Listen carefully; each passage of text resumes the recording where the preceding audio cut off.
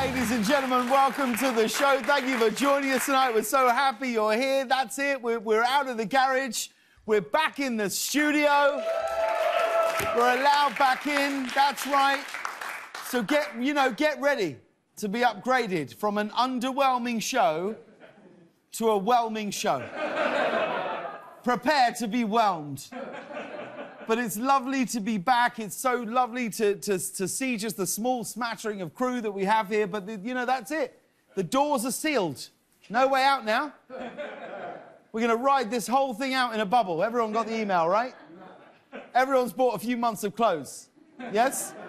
Uh, how are you, Rich? What's happening here? How, I love this. Oh, thanks, man. It's, uh, it's feeling good. Can you can you hear what I'm saying? Yeah. And you're just gonna wear this the whole show?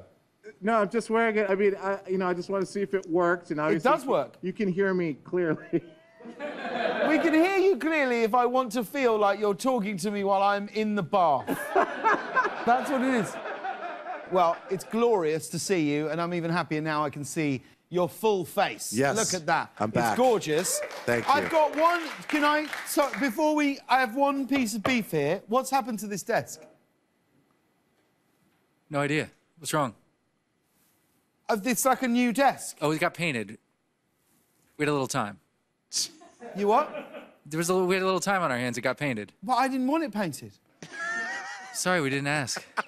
Look at I used to, every day. I think, oh, I genuinely used to look at the desk. I think when the show's done, when we're all packed, I'll take this desk because it had like a little mark where the coffee thing was, and it felt like now it's like it's just from IKEA.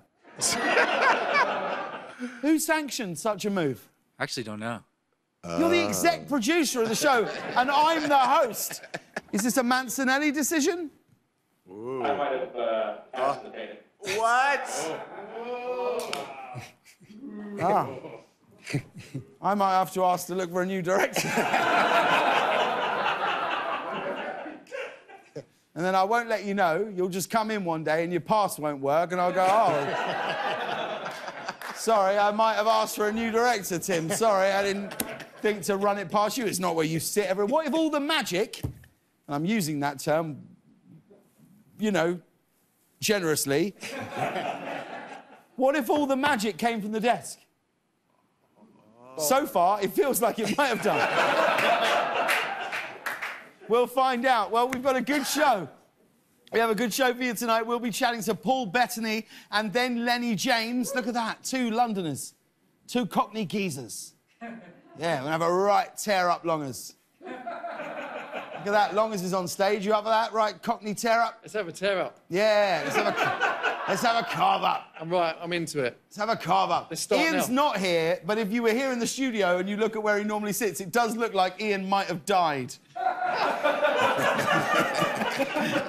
Just out of respect to Ian, we've, we're gonna, we won't turn the lights on for a week. we should start laying flowers there. And... God, I used to love it when Ian was here. oh, Dave, look, Dave's crying. He's missing Ian so much. He's beside himself. Emotional. Yeah. Do you remember that time when Ian did that bit? Let's play a best of Ian, just to. we'll soldier on without him. Ian's last act in the studio was painting this desk. um, uh, well, guys, big news. You know what I'm going to say. Uh, Donald Trump just became the first president in history to be impeached twice. Yeah, wow. twice.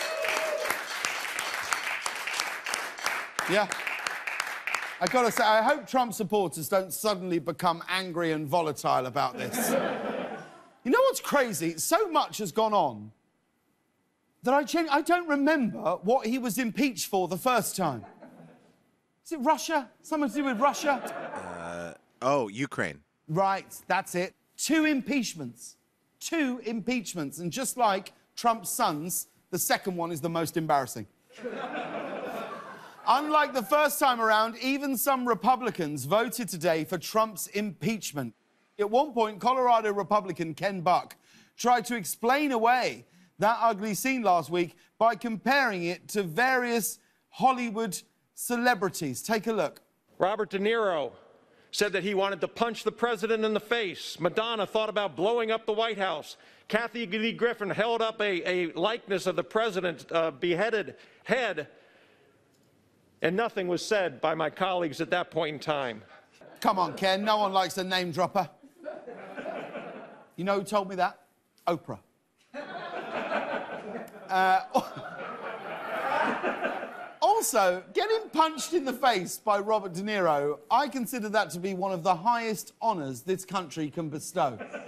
Nothing would make me happier than if you said, Robert De Niro's on the show, he's not going to chat, he's not going to do a bit, he's going to walk in and just sock you right in the mush. At another point, Republican Lauren Boebert argued that the Democrats' attempt to impeach Trump was only creating more division, and she had some strong words for everyone. Rather than actually helping American people in this time, we start impeachments that further divide our country. I call bullcrap. Whoa! Whoa! Hang on a minute. I apologize to anyone who had to hear that. That is. That's crazy. I'm just glad she took the time to speak on the floor today because normally on a Wednesday, she's busy getting kicked out of a Sephora for yelling at the manager. this time around, a Senate impeachment trial could be a bit rocky for the president. Senate Majority Leader Mitch McConnell is apparently pleased about Trump's impeachment because he thinks it'll make it easier to distance Trump from the Republican Party. It's, it's official. Mitch McConnell has turned his back on Trump, which means someone should probably help him because usually when Mitch McConnell flips onto his back, it's. it's hard for him to get back up on the right side again. Now, this all seems promising, I know, but watch out because there's actually nothing more disturbing than the sight of a pleased Mitch McConnell. Ah. And as if that's not enough, there was even more bad news for the president today. This morning, New York City announced that it's severing all contracts with the Trump Organization. Start spreading the news. One of the contracts included operating the carousel at Central Park. I feel like I should have asked this four years ago. What does the Trump Organization do exactly? It's like shady real estate deals, unsavory international transactions, and merry-go-rounds? What would another surprising... What, what business would you be surprised by if the Trump Organization organized that in New York? Like maybe a group of people that just say like, "Hey, hey, I'm walking here," just to perpetuate Yes. the stereotype Yeah. of New York. Because they're all play, paid employees of the city. Yeah. I know that. Yes, Just they to are. give it a flavour. Yeah. Hey, I'm walking here. do you think I could play a good gangster in a movie? I think that Do you, think, should. Do you think I could do that? You should. Hey, Tommy, relax and forget about it. Yep. They call him, they call him Short Arm Jimmy. That's what I'm saying. Hey, guys, forget about it. That's exactly what I'm saying. See, the magic was in the desk, Rob. I don't care what you say. We blew it. I'm sorry. I think that's it now. I think this is us. Um, but yeah, as I said, they're taking the carousel in Central Park away from him. They're taking away the, the, the carousel. This is devastating news for Eric Trump. but that's not all, gang. Even America's overseas allies don't want to have anything to do with the Trump presidency right now. Secretary of State Mike Pompeo just had to cancel his final trip abroad after top European leaders refused to meet with him. Here's how toxic Trump's administration is right now. Even the EU was like, EU. oh, ah, see? Oh no. Uh, oh, oh, oh no. Oh no. I'm going back to the garage. I'm going back. Do you know why this doesn't work? It's gotten a reaction to the lacquer on this. Ah. Oh, Tim didn't plug it in. That's what masks are for. that's all I've got, Reg. Look, oh, look, it's a shady job as well. Look what's come up on. look at that. Look at. No. Oh, it's a shady job. Oh my lords. We'll soldier on, guys, but I'm. Oh!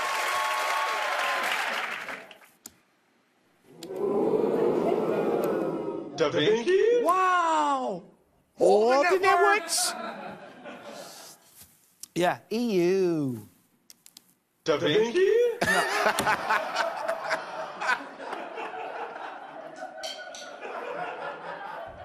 I never thought I'd say this. I missed 2020.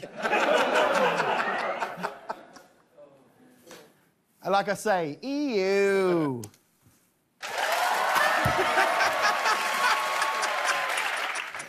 Pompeo had to cancel his big trip abroad. I guess now, finally, he'll understand what life's been like for all of us these past 10 months.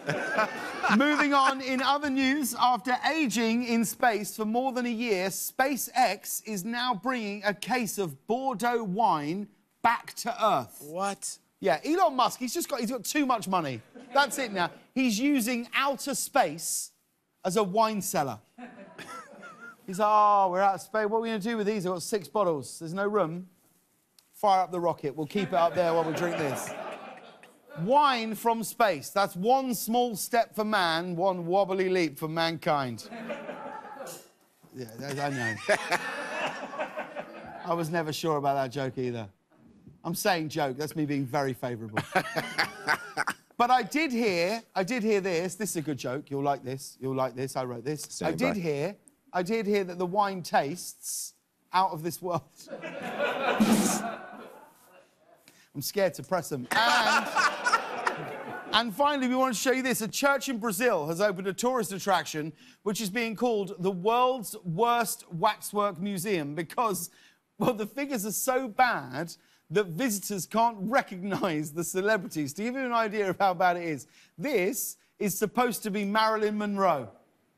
Ah. The scented Wow. candle in my office looks more like Marilyn Monroe than that. And I've studied the other exhibits, and I've got to be honest, they wouldn't be so bad if they just labelled them properly. So at the, at the museum, they say that this is Elvis, right? When it's obviously Shawn Mendes. they say this is Princess Diana, but it's obviously television host Laura Ingraham. And finally, band, I want your guesses. Have you any idea who this is supposed to be? Right, Dennis the Rodman. Dennis Rodman? You think Dennis Rodman? Yeah, anyone else? Dennis Rodman?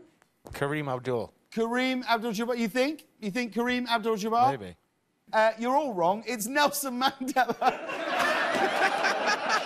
Look at that.